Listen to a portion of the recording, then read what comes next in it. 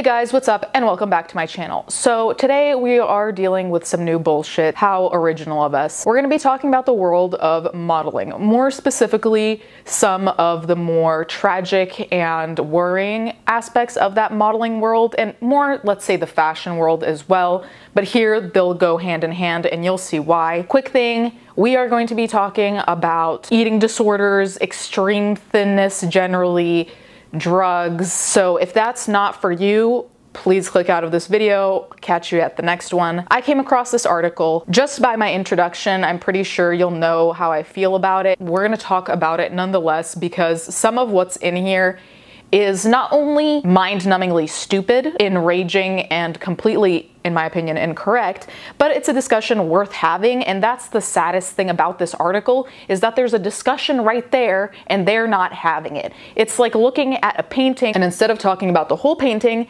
you're focusing on the tiny little corner instead of the big picture and the more important discussion. So that's what we're doing today since apparently journalists don't know how to do their jobs. That's another rant we're gonna save for another day. Bye bye booty, heroin chic is back. I don't think I need to really comment comment on the term heroin chic. I think we all know how I'm gonna feel about that one. Any kind of Vogue type term that's related to drugs, trying to glamorize drugs, glorify drugs, make drugs seem like some fashionable trend, like it's a new handbag. It's not for me. I think it's stupid and that's really that on that. From Uggs to low-rise jeans, the fashion world is seeing a resurgence of questionable trends from two decades ago. Now it seems as though the thin, heroin chic body of the 1990s and early aughts is also making a comeback. In early October, Bella Hadid closed out Paris Fashion Week at Coperni, her tiny form nearly naked on the runway as a dress was spray painted onto her skin. Days later at the Miu Miu Spring 2023 show in Milan, Wayfish girls paraded down the runway with bared midriffs, some of them modeling the micro miniskirt for which the label has recently become known.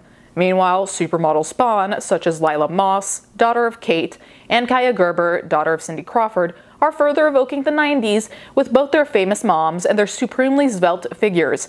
Not everyone is happy about the trend. I don't know what I'm missing here. I truly do hope I am missing something because otherwise this is truly really fucking grim because it's pretty simple to figure out why people aren't necessarily happy. One clue could be why are we calling this heroin chic? Do we really need that term? Can we not use a new term? Do we have to relate it to drugs, which are notoriously related with the fashion industry? Do we need to underline the fact that there are a lot of unhealthy behaviors in the fashion industry if we're not actually going to discuss them seriously? That's what I was talking about earlier when I say that it's frustrating and that we're just looking at the corner of the painting instead of the big picture. Because if we're going to talk about heroin chic, Let's talk about drug abuse. Let's talk about eating disorders. Let's talk about things that put people's lives in danger for their jobs for an aesthetic to look a certain way so you can keep your job, so you can keep your weight at the lowest, so your ribs start showing. These are all things worth discussing, but if we're gonna oversimplify them, I think it's almost best to not discuss them because it truly is a disservice to flatten it out to, oh yeah, it's heroin chic, it's like the 90s. I'm sorry, that is just a level of fuckery I'm not here for. Now, if you've been here for a while, you know that I have a bias here and I'm gonna voice that bias now so you can take it into account and take my opinion for what it's worth. I've had issues with eating disorders, being bulimic specifically, so I am cutthroat about these things. I am cutthroat about how you talk about them, how it's socialized, and specifically how women, because that is my experience, are treated in terms of issues to do with food, appearance, body image, and body dysmorphia. I'm not gonna let this journalist catch a break with this one sorry, not sorry. So it's nothing new that models are extremely thin, extremely wayfish, which is the term that was used here. As we well know, and this article will bring it up in a second, there has been a resurgence of the curvy girls, so women who have a different hip to bust ratio, women who are heavier than these wayfish models. That was a trend for a while. It seems like that trend is dying down again. I also don't like using the term trend when we're referring to people's bodies because it sounds a little weird to say that someone's body is going out of fashion. It's a little bit grim, frankly, but that is the reality of the fashion industry. We see models with a certain body type, that body type will thrive for years, and then guess what? they're nowhere to be seen and we're back to the other body type. If I use trend here, it's just because it's the term they're using, not necessarily one I'm a fan of, but I can't really find the right one either. The skinnies sashaying down the runway are a drastic shift from the slim thick and body positivity that had been in vogue in recent years with womanly ambassadors such as Lizzo, Megan Thee Stallion putting their bodies on display. Even the famously bootylicious Kardashians seem to be turning away from curvy physiques. Kim and Khloe are looking increasingly skinny of late, leading fans to speculate that they've reversed their Brazilian butt lifts, though has never been confirmed either had procedures to begin with. At the Met Ball in May, Kim boasted about shedding 16 pounds in three weeks to fit into Marilyn Monroe's iconic dress. Experts say the new obsession with thin isn't limited to the Hollywood and Fashion Week crowds. Now that high fashion runway brands are putting skimpy clothes on the runway for restrictedly scrawny and bare women, it trickles over to fast fashion brands in the matter of days or even hours, high fashion blogger Hunter Shires, aka High End Homo, told the Post. The next minute, the clothes that suit lanky girls are all over your For You page, Instagram feed, and Twitter timeline. There's a lot here to be discussed. Now, I really do think that the way in which this article was written, and I'm going to say this for the last time because truly I could repeat it a billion and it would still apply. The way this article is written, in my opinion, is somewhat irresponsible simply due to the surface level of this commentary.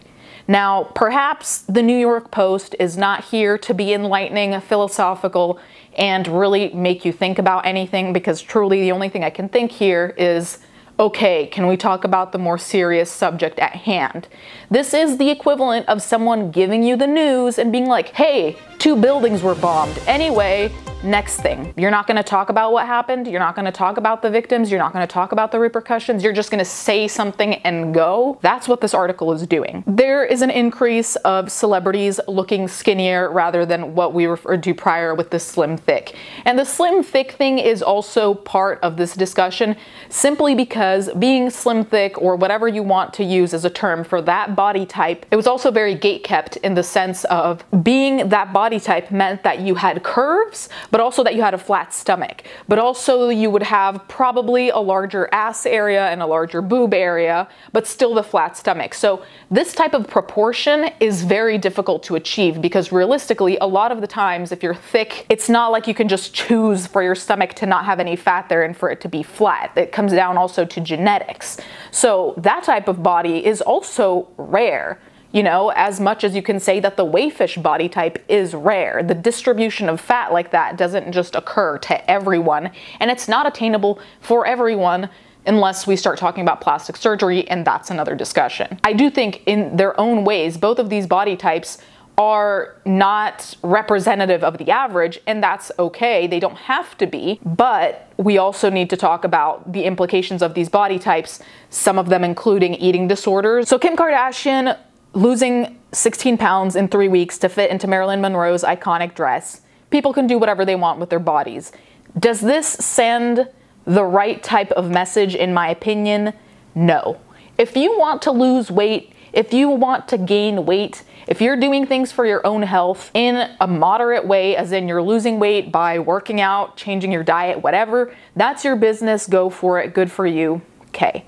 What we're talking about here though is the extremes of body changing, body modification, whatever you want to call it, of diet, of excessive exercise.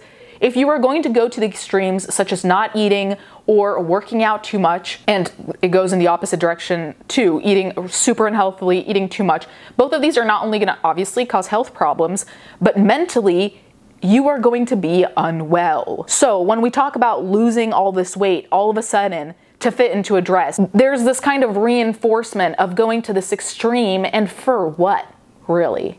In this particular case so you can fit into Marilyn Monroe's dress so you can wear it for a night on the red carpet? Was this weight lost in a healthy way for your own sake? Or is it because there is a constant narrative that you're supposed to look a certain type of way so you have to lose this weight so then you can fit into this dress and so then you fit the ideal feminine? I'm just gonna leave that there. You can come to your own conclusions about the answer to that question. Anyway, the obsession with being skinny I was alive in the early 2000s. I remember low rise jeans. Unfortunately, it was a very dark time in fashion. I don't want that to come back. And frankly, I would rather just never wear jeans again than go back to low rise. I'm sorry.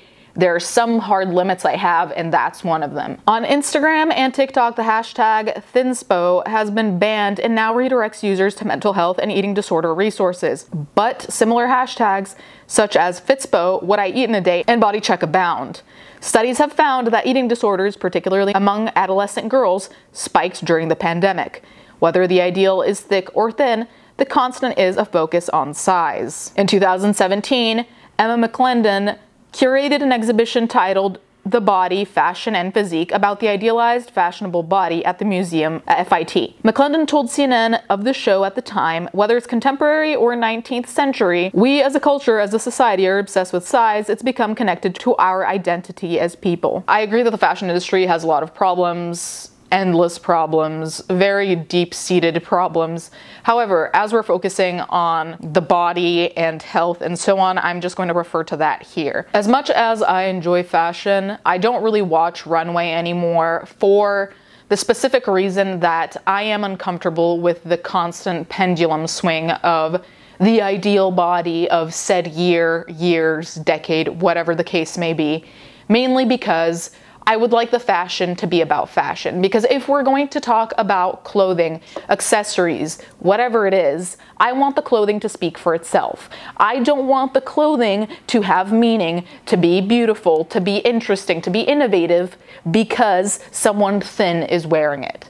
The same way I don't want it to say something because someone slim thick is wearing it or someone of any other body type. I do not want the body type to dictate if something is fashionable or not. If the thing is fashionable, according to you and your own standards, I want it to stand alone. I think fashion should stand alone and not rely on the body type that's wearing it. If you need a certain body type to make your fashion stand, your fashion is trash. I'm sorry, that's just what it is. Because if you can't create a piece of clothing that's beautiful enough that you need a very particular type of person to wear it. Someone who is weight X, tall Y, hair color Z. Then you're just making a dress for a specific person. At that point, you might just have one copy of each dress that's meant for person whatever, because that's not fashion. The whole point of fashion is that you're taking something and making it to some degree, because obviously, based on your body shape, some things are going to look better on you, flatter you more, sure. Let's not pretend that isn't true. The same way that if I were to have yellow hair, I would look sickly. Trust, I've checked. So I'm not saying everything suits everyone. Of course not. But there's a very big difference between getting something that suits you and that flatters you versus something that only flatters like three people you saw at a party doing cocaine last week. If it's just them that you're thinking of when you design clothes, we've got a problem, right? Is that really talent? Or are you just catering to this very specific group because that's all you know how to do? I'm genuinely curious. The last thing I'm gonna say about all of this is that if we even just put fashion aside for a second and we just talk about eating disorders, drugs, things that you do generally that relate back to the body. We have to stop feeding this narrative of the ideal body. And I know that's a very easy thing to say, and it's a harder thing to practice or put into motion because realistically, how do you stop magazines? From saying, this is the ideal body, I wish I looked like this, blah, blah, blah. How do you stop people on social media? Because I mean, at some point, you also get to censorship. So we're talking about a long and complicated discussion.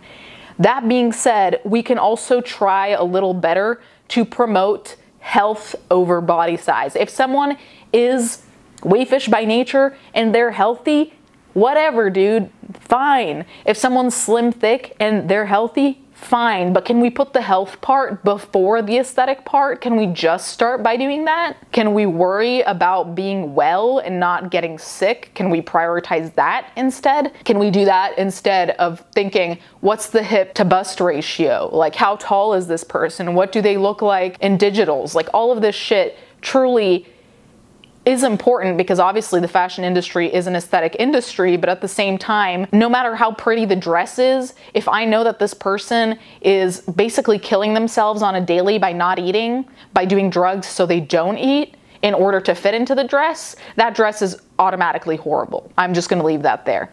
Anyways, guys, you can let me know what you think in the comments down below. Do you think this is gonna lead to a resurgence in eating disorders? Not that eating disorders disappeared by any means, but do you think this will contribute to people getting potentially more obsessed about their weight again?